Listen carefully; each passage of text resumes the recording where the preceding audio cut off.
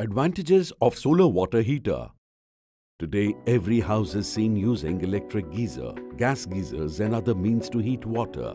To use these traditional gadgets means money and time have to be spent every day in the form of fuel and because of this, the scale of pollution increases.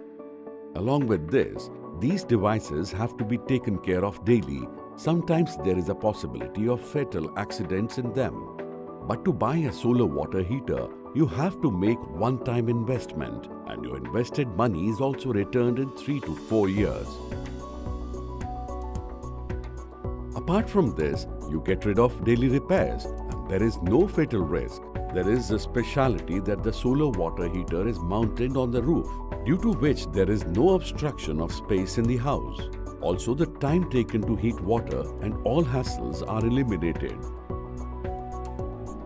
Since it's free from pollution, the environment is also protected and there is also a provision of 24 hours hot water in sufficient quantity. The maximum life of solar water heater is 15 to 20 years.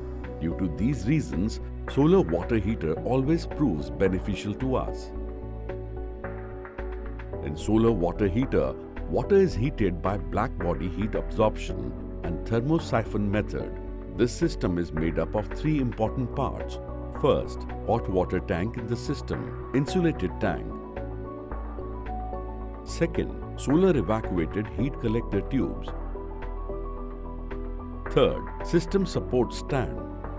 The sun's rays fall on the evacuated heat collector tubes or because these tubes are black in color and triple layer, the water is heated up to 50 to 60 degrees. The hot water being light in weight moves towards the upper surface of the tank and gets stored in the insulated tank. This process lasts for about 5 to 8 hours and the heated water remains hot for at least 24 hours in an insulated tank. When we use hot water from the tank of the system, the same amount of water from the cold water tank gets stored in the tank of the system. So, contact on the given number to book your solar system today 1800 233 4545